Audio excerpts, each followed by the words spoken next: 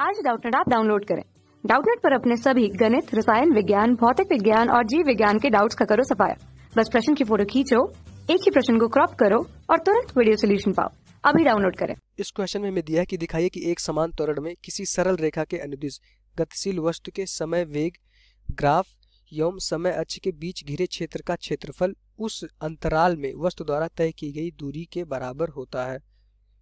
तो इस क्वेश्चन में हमें क्या दिया है? कि कोई वस्तु एक समान त्वरण से गतिशील है। तो उसमें सरल रेखा के अनुदेश गतिशील वस्तु के समय वेग ग्राफ के समय अक्ष के बीच घेरे गए क्षेत्र का क्षेत्रफल उस अंतराल में वस्तु द्वारा तय की गई दूरी के बराबर होता ये हमें दिखाना था। तो जैसा कि पता, अगर एक समान त्वरण होगा, अगर ये हमारा त्वरण क्या है? एक समान त्वरण है। तो अगर इसका हम वेग एक समान त्वरण है मतलब कि जो त्वरण का डिफिनेशन होता है, क्या होता है? दूरी वेग परिवर्तन की दर हमारा क्या कहलाता है? त्वरण कहलाता है।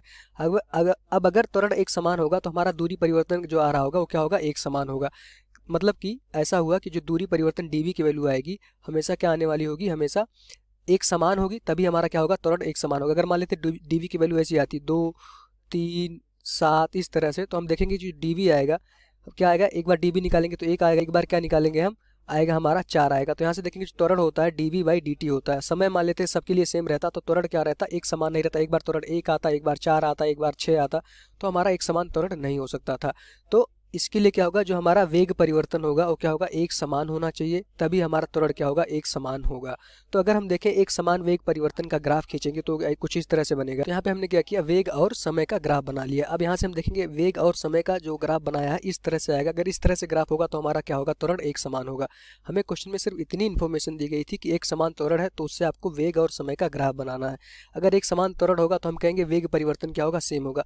अब यहाँ से किसी भी बिंदु पर हम देखेंगे तो हमारा जो वेग परिवर्तन आएगा, उसकी वैल्यू क्या हो जाएगी? हमेशा समान रहेगी। यहाँ से देखेंगे, यहाँ से ग्राफ खींचेंगे। किसी भी बिंदु को मिलाएँगे तो यहाँ से जो वेग परिवर्तन आने वाला ये वैल्यू ये दूरी हमेशा क्या रहेगी? सबके लिए समान होने वाली है। तो यहाँ से कहेंगे, अगर वेग परिवर्तन समान होगा तो हमारा त्वरण भी क्या होगा? एक समान रहेगा। तो वेग परिवर्तन का ग्राफ हमने बना लिया।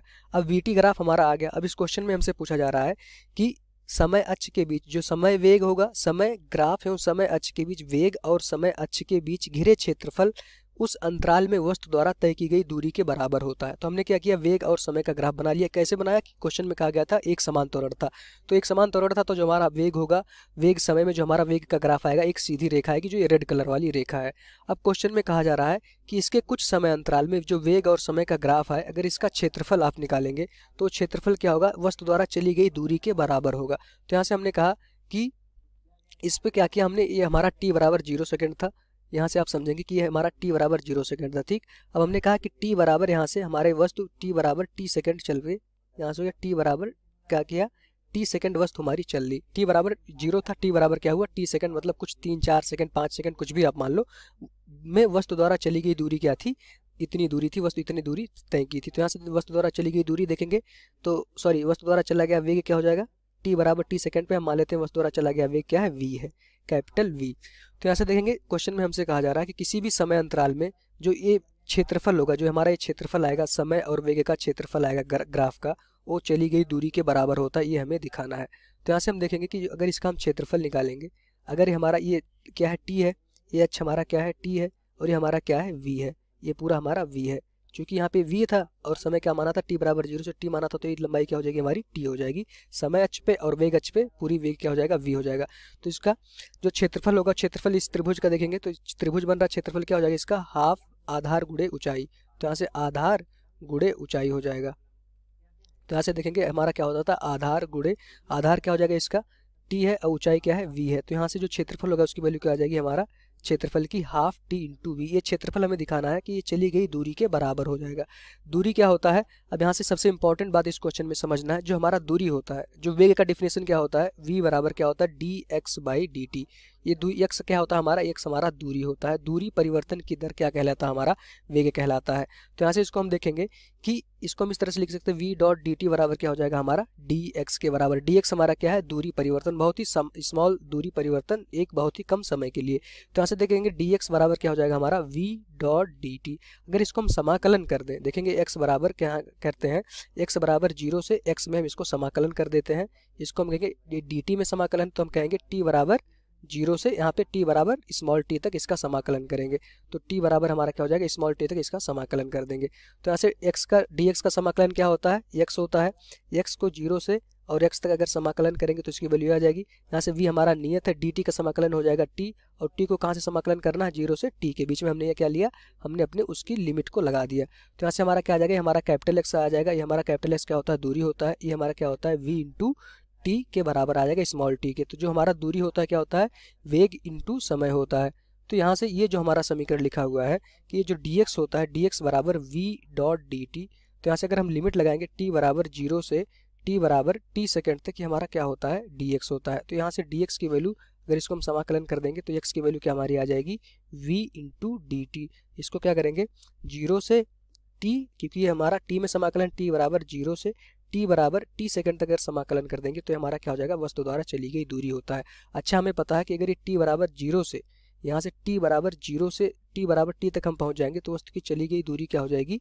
ये हमारा जो समाकलन कर देंगे तो ये जो क्षेत्रफल होगा हमारा, वस्तु की चली गई दूरी दिखाता है। तो इसको अगर कहीं समाकलन होता है तो हमारा क्या होता है? ये हमारा क्षेत्रफल लिखा होता है। मतलब कि जो हमारा क्षेत्रफल होगा वी और डी टी कर्व का समय और वेग का क्या कहलाएगा? चली गई दूरी के बराबर होता है। तो अगर समाकलन होता है तो समाकलन को हम क्या कहते हैं कि टी बराबर ज़ीरो से टी बराबर टी सेकेंड तक जो हमारा वेग है और जो हमारा समय है, उसका जो एरिया होगा दोनों का, अगर उसका हम क्षेत्रफल निकाल दे तो क्या देगा? हमारा दूरी देगा। इसका मतलब यही लिखा हुआ है, जो समाकलन होता है, इसको हम क्या कहते हैं? क्षेत्रफल निकालना कहते हैं। तो ऐसे हम देखेंगे कि t बराबर ज़ीरो से t बराबर t सेकंड तक अगर हम इस पूरे क्षेत्रफल का v है, ये हमारा वेग का ग्राफ है, वेग का और समय के ग्राफ में अगर पूरा क्षेत्रफल निकाल दें तो हमारा क्या होगा? चली गई दूरी के बराबर हो जाएगा।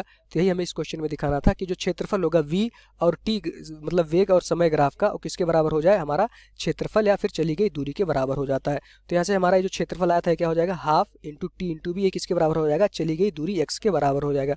कैसे हो उसके लिए फार्मूला क्या है? जो हमारा एक्स होता है, जो हमने डिफिनेशन देखा कि वी बराबर D X by D T होता है। अगर इसका हम समाकलन करेंगे तो यहाँ से हम देखेंगे कि एक्स बराबर वी टी आ जाता है और समाकलन ही क्या होता है? एक तरह से उसका क्षेत्रफल निकालना होता है। किसके बीच में? उस समय अंतराल टी बराबर ज़ीरो से टी बराबर टी के समय में।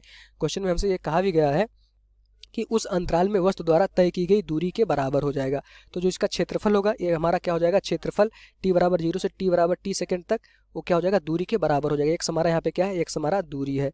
तो जो क्षेत्रफल हो जाएगा, ये पूरा टर्म जो लिखा हुआ है ब्रैकेट के अंदर, ये क्या होता है? पूरा क्षेत्रफल होता है। किसी भी वस्तु का, अगर उसका हम समाकलन करते हैं उसके वो हम लगा लेते हैं लिमिट टी बराबर ज़ीरो से टी बराबर कुछ मान लो पाँच सेकंड तक, इसके अंदर कुछ भी लिखा हो डी लिखा हो तो मतलब क्या हमने निकाला कि हमने ये क्या किया, क्षेत्रफल निकाल दिया है। कहाँ से? टी बराबर ज़ीरो से पाँच सेकंड के बीच में हमने उसका क्षेत्रफल निकाला है।